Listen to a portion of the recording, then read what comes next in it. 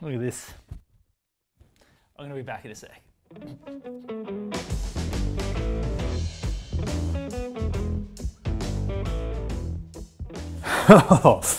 this is much better. Now, some of you might know me. My name's Ben Hayman. I'm Hoselink's resident horticulturalist. And today we were going to film a get out and garden video, but because of this terrible weather, we thought we'd come inside, get online, and answer some of your gardening questions. And by the way, thank you so much for sending in so many.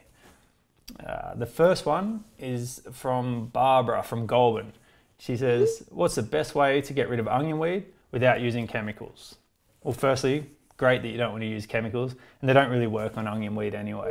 It's such a strong, pesty little weed. Um, the best, honestly, the best way to get rid of it is to dig it out.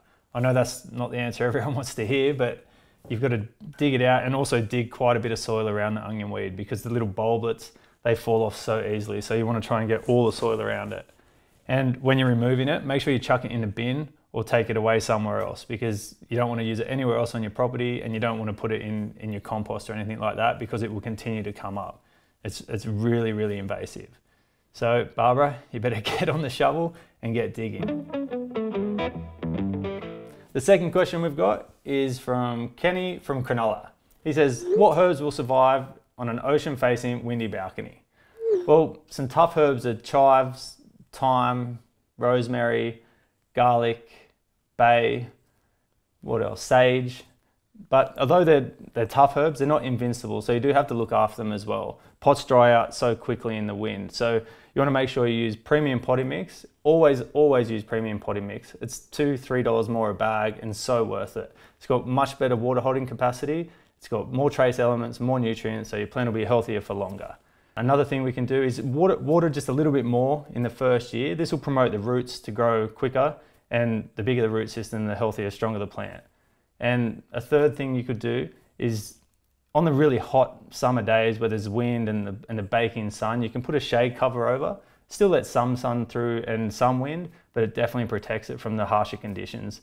Or if, if possible, move them completely inside out of the weather completely. So we've got premium potting mix, the tougher herbs, water a little more in the first year, and then move them out of the, out of the weather if you can. Our third question is from Jamie from Brisbane. He says, what are your top never fail indoor plant options? Well, the first one that comes to mind is a rubber plant. I've never seen anyone kill a rubber plant. So if you kill that, well done. They're like a plastic plant basically. Another one is a cast iron plant like the name suggests, tough as nails. Um, some other ones are yuccas, a spider plant, uh, cactus, um, peace lily. Uh, yeah, they're, they're, all really, really tough. The, um, the, the, main reason people kill indoor plants is they overwater. So just keep the water down. That's, that's probably the biggest tip for every indoor plant. And, and sunlight. If they can get six hours of filtered sunlight, that'd be perfect. So those plants, six hours sunlight, keep the water to a minimum and you'll be fine. Our fourth question is from Ollie from Penrith. He said, if my pot plant soil has compacted and the soil level is now quite low, do I pack a lot more on top or do I need to repot the plant? Definitely repot the plant. The reason it's compacted is there's just so many roots have filled that pot and it's, it's basically strangling the plant and there's no soil to give nutrients to the plant. So depending on what you want to do, if you want to put it back in the same pot, then you have to take it out and cut about a quarter of the roots off. You can use a, a saw or a, a bread knife's really good for doing it actually, but just make sure they're clean. And then once you've cut the quarter of the roots off, soak it in a bucket of seaweed tonic for at least an hour. And then put it back in your pot and pot it up with premium potting mix, like I said in the previous point. Much better than the cheaper potting mixes.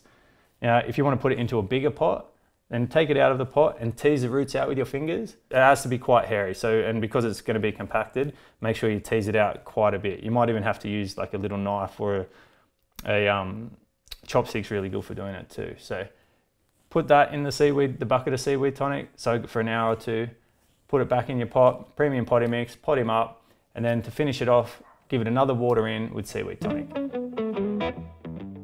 Our next question is from Melissa from Dongara, wherever that is.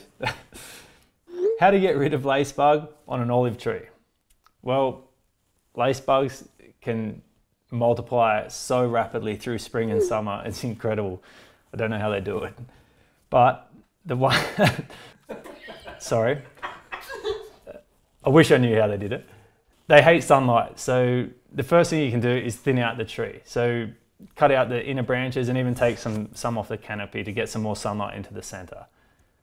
Another thing you can do is make sure you feed the tree regularly. The healthier the tree, the more pest resistant it is. If you want to spray it, you can spray it with pyrethrum, a neem oil, or a soap, and spray it once, then 10 days later spray it again. So a double application definitely helps with it. And make sure you spray the underside of the leaves. That should definitely help with your olive tree in Dongara.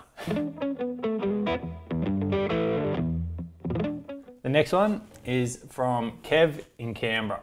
He says, How do I germinate coneflower seeds? I can't seem to get them up. All right, Kev, let me help you. what you can do is you can put them in a Ziploc bag with some wet sand and then put them in the fridge and, and put them in for about two weeks. This actually tricks the seed and it will help it germinate quicker. When you sow the seed, put it in a, a, seed raising mix. This actually helps a lot with how easy it is for the seed to germinate. And bury them down to about five millimeters deep, not, not too deep at all. Then give them a spray with water, even a little spray gun so you're not like flooding the seed tray and then keep them damp for two to three weeks. You can put them inside on a windowsill, that also helps. Get a bit of sunlight and they're a bit more protected. And then, yeah, in two to three weeks, you should have your cone flowers starting to shoot. Hope that helps, Kev. The next one is from Rashid in Adelaide. He mm-hmm. says, what do I feed my finger lime? It's also, it's, also it's in a pot. I feed my citrus with a specific citrus fertilizer, and it's a it's a controlled release fertilizer as well. It's a pellet you can find at your hardware.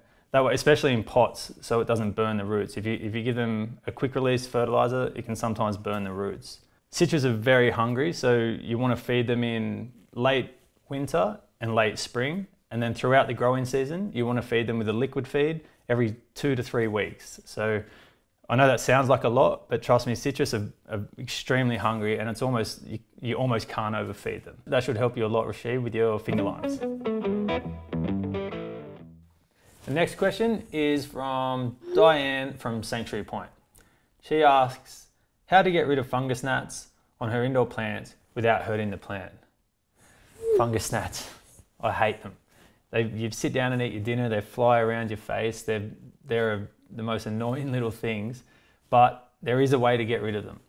One of the ways to get rid of them is you can mulch the top of the, the potty mix with a pebble. This will stop the females laying their eggs. Another way you can get rid of them is flood the entire soil with a, a neem oil concentrate. You make it up in a water can, maybe put it in the bath or in the sink before you do it because you really want to flood that soil. And do that every 10 days for a month or so and that, that should get rid of it.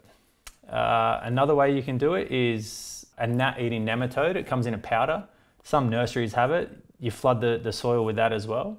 That, that works really well actually. Try and keep your potting mix dry as well. They, they really like the moisture. So if you've got a saucer underneath your pot, get rid of that and, and try and keep the top 10 centimeters of your pot dry. Like I know that sounds like a lot and you, you think you might be hurting the plant, but you need to get rid of these gnats. By keeping the soil dry, that, that will help dramatically as well. And our lucky last for today is Dave from Queenstown. He asks, what is the best time to prune a fruit tree? Well, the best time to prune deciduous fruit trees like your peaches, your pears, your apples is late winter or early spring before bud break. The best time to prune citrus is after harvest in winter and also in spring before bud break, early spring before bud break. Now, citrus are prolific fruiters, so I suggest picking off some of the smaller fruit or even some of the flowers to prevent the fruit coming. And this will take a lot of stress off the tree and it'll give you bigger, better fruit as well. I highly suggest you prune your fruit trees every year. It's, it's really important. It helps with preventing fungal diseases, um, pests, just with getting more airflow through there. It also reduces the height, so your, your fruit is at a pickable height, so you're not having wasted fruit up high. and it also stops lower fruit sitting on the ground and encouraging fruit fly. Very much recommend you prune your fruit trees every single year. So there you go, that was fun. Now we'd love you to send in more questions and the easiest way probably is to put them in the comment box below. And if you were to like this video and subscribe to our YouTube channel, that's super helpful too. We'll see you in the next one.